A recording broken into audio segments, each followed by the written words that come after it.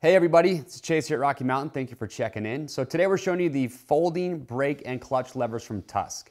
So folding levers are one of those upgrades that I always recommend for riders when they get a bike just because you know, levers, they break pretty easily. If you go down, something as simple as a tip over, which I've had happen to me before, I kid you not, true story. I one time put brand new levers on my bike. I was in my garage, and right after I did that, my bike fell over, busted the lever right back off. So having folding levers is nice because when you do go down, whether it's a crash or just a simple tip over, these have a spring inside that allows it to fold up and completely out of the way. So you don't have to worry about these breaking if you do go down. So these are made from billet aluminum, nice black anodized finish to them.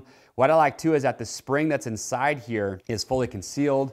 So it's just got a nice clean look to it. You don't have to worry about getting dirt and gunk inside that area. And these are mounted to fit on just your OEM clutch perch and your master cylinder for your brake.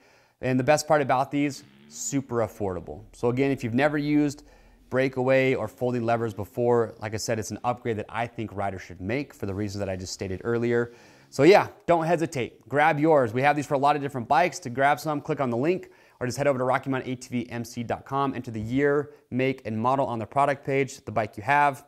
That will ensure that you will get the correct fitment. And as always, if you have questions or comments, so leave those down below. We'll help get those answered for you. If you like this video, get subscribed to the Rocky Mountain YouTube channel, hit that notification bell, and that way you always stay up to date. I am Chase, and we'll see you on the trails.